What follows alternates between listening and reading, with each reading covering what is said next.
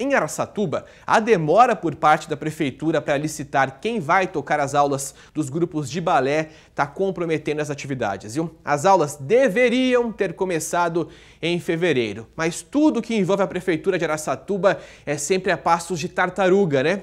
E as mães dos alunos, claro, estão bastante preocupadas. Desde que foi criado no ano 2000, o Balé Municipal de Araçatuba já formou diversos bailarinos profissionais. As apresentações sempre encantaram o público.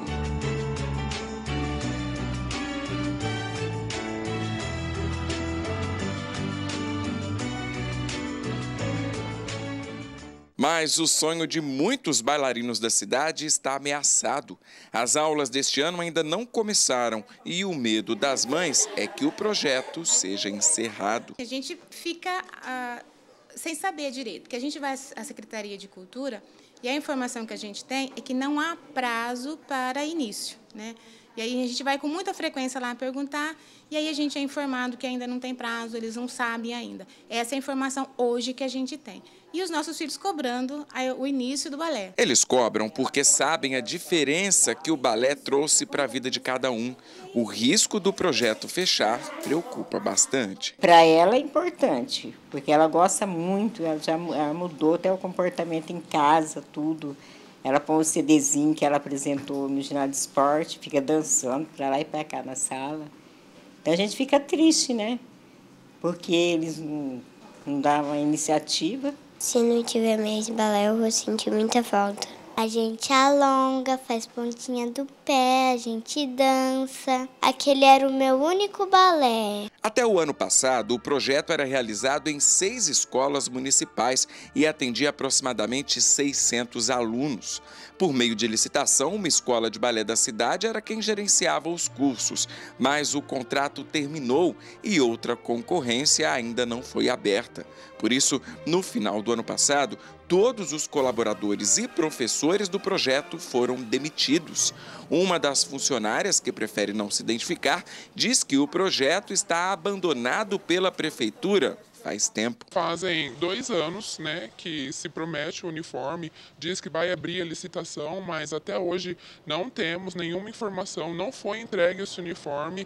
Várias crianças estavam fazendo descalça, de meia, e essa é a situação.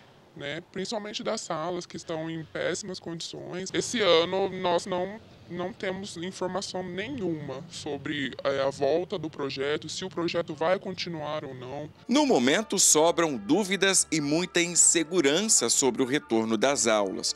Mas Ana Júlia não perde a esperança de continuar se transformando em uma linda bailarina. Muita saudade. Eu queria ganhar o uniforme, a sapatilha, a saia e o colã para me ficar bonita realmente tem que investir na criançada. Não adianta a prefeitura ficar nessa moleza, nesse marasmo que tem sido a administração do prefeito Dilador Borges, que até agora, pessoal, já se passaram aí uh, quase 16 meses do mandato dele, um mandato que até agora não mostrou a que veio, né? Muitos problemas que continuam se arrastando, soluções para problemas que eram antigos que não foram uh, levadas para frente, enfim, um problema danado e esse é só mais um da inúmera lista que a gente pode ficar falando aqui diariamente que a prefeitura tem enfrentado. O que vê é uma pasmaceira no meio ali do meio político uh, que está administrando, que está gerenciando essa cidade, né? Isso preocupa bastante, preocupa bastante não só nesse projeto como em tantos outros que acabam ficando esquecidos no meio do do caminho. Está faltando um pouco mais de disposição, está faltando um pouco mais de vigor por parte da administração pública